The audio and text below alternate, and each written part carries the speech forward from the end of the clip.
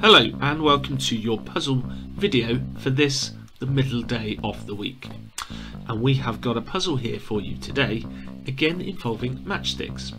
On the screen you can see matches all arranged to create five squares. All you have to do is move two of the matchsticks to a new position to create just four equal sized squares. So all four squares will have to be the same size. Okay, there's your puzzle for today. And on to today's riddle. And today's riddle is what gets broken without being held? What gets broken without being held? Okay, so there is your puzzle and your riddle for today.